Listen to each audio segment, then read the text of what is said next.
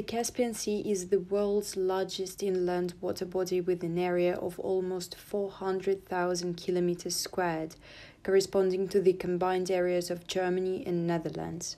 Around 80% of the river flow to the sea comes from the Volga River, the longest river in Europe, with a length of 3,531 kilometers. For centuries, the Volga Caspian Basin has been an important and strategic place for the Russian people. The Volga River is usually referred to as Mother Volga because since time immemorial it was the major provider of the country. In the old days, the Volga supplied people with food and water for their basic needs, but over the time the needs have changed and hence the usage of the river. During the industrialization in the Soviet Union, the Volga became one of the primary means of energy generating. One of the main objectives of the industrialization was a complete electrification of the country via the construction of hydroelectric power plants along the Volga River. In the 1930s 1980s period, eight hydropower stations with reservoirs were constructed along the Volga. Filling them up influenced the river's flow into the sea and its landscape. Despite tremendous benefits to the Soviet economy, these constructions produced dreadful ecological effects. The Caspian sturgeon makes up 90% of the world's reserves of white sturgeon, sturgeon, and stud sturgeon. After construction of the Volga hydroelectric power plant, only 430 hectares out of the former 3600 of the spawning grounds remained accessible to fish. В бассейне Каспийского моря сформировались мощнейшие в мире по численности и разнообразию природные запасы осетровых рыб. Этому способствовало уникальное сочетание целого комплекса факторов, обеспечивших благоприятные условия для роста, развития и для размножения осетровых рыб. Дело в том, что Каспийское море, озеро, является бессточным водоемом, то есть не имеет связи с мировым океаном. На момент проникновения в Каспийское море осетровых рыб так случилось, что туда не попали э, серьезные конкуренты в питании для них. Поэтому они могли использовать богатейшие кормовые ресурсы Каспийского моря для успешного нагула и достижения просто колоссальных размеров, формирования больших по численности популяций. А, кроме этого, в Каспийское море впадает достаточно большое количество рек, а осетровые размножаются исключительно в реках. Одной из этих рек, впадающих в Каспийское море, является крупнейшая европейская река Волга с большим количеством притоков, образующая Волжско-Камскую систему водоемов где имеется большое количество нерестилищ, то есть мест для размножения осетровых рыб. И вот имея возможность э, размножаться в больших количествах в реках, впадающих в Каспийское море, имея возможность успешно расти, развиваться, достигая взрослого возраста, достигая большого размера, осетровые сформировали самые крупные, самые разнообразные в мире э, природные популяции. И эти уникальные э, естественные запасы явились основой для формирования промышленной индустрии производства черной икры в Российской империи, впоследствии в Советском Союзе, на постсоветском пространстве. Э, однако деятельность человека эм, э, явилась миной замедленного действия для осетровых рыб, поскольку строительство плотин гидроэлектростанций на нерестовых реках и прежде всего на Волско-Камской системе водоемов сделало недоступными Э, большинство нерестилищ э, для осетровых рыб. То есть они потеряли возможность воспроизводиться естественным образом, пополнять популяции новыми рыбами.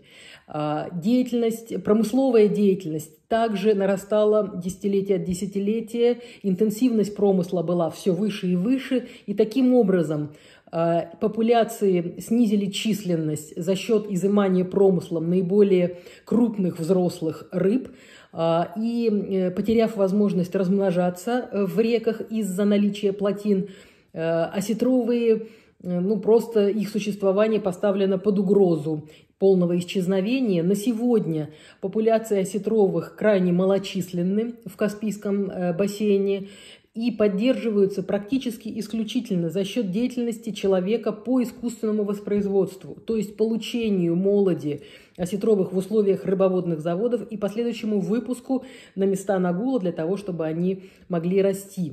Э, в надежде на то, что популяции восстановятся.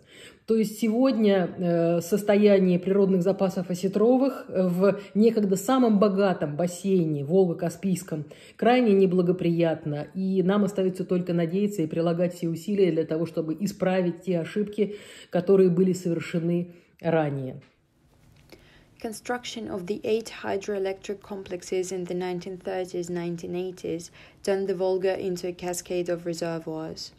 The work on the first hydroelectric complexes on the Volga in the 1930s were carried out in the conditions of almost complete absence of domestic and international experience in the construction of large hydroelectric power plants when their impact on the natural environment was poorly predictable. The main problem, which raised in the course of discussions, was the impact of hydroelectric stations on the fishery of the Volga and the Caspian Sea.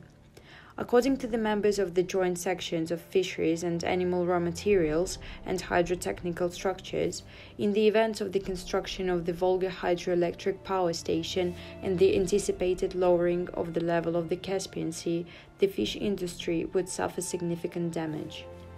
However, in the process of developing the Big Volga scheme in 1934 1936, there was a shift in emphasis. It was declared that positive effects of the construction would outweigh the negative ones, and therefore it was decided to proceed with the works without significant changes.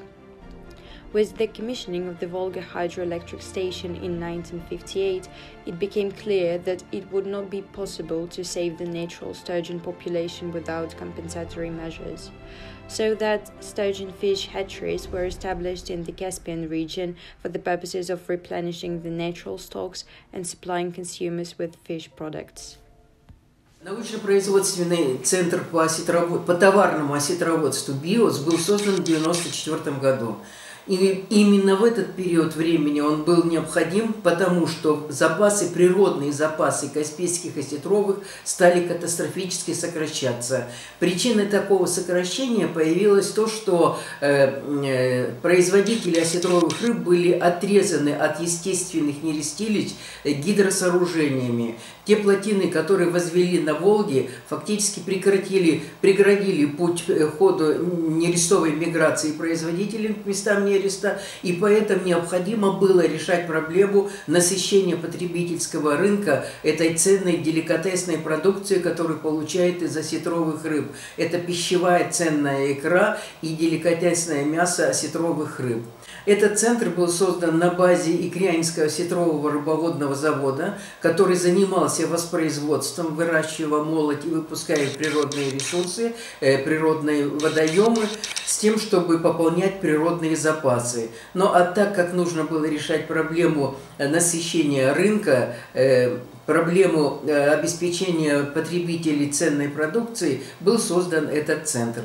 Задача этого центра входила разработка биотехнологических основ товарного выращивания рыб, получение и и передачи рыбопосадочного материала, формирование э, маточных стад осетровых рыб в искусственных условиях, от которых можно было получать половые продукты для воспроизводства и для развития товарного осетроводства. Overall, the impact of hydroelectric power plants on the environment and the natural sturgeon population in particular was not given much importance at the time of their construction. Fears about the fate of the Volga and the Caspian Sea fisheries and other elements of the ecosystem were not fully taken into account. Today, the problem of sturgeon extinction is at its worst condition, and one of the main reasons for this is damming of rivers that fish use for spawning.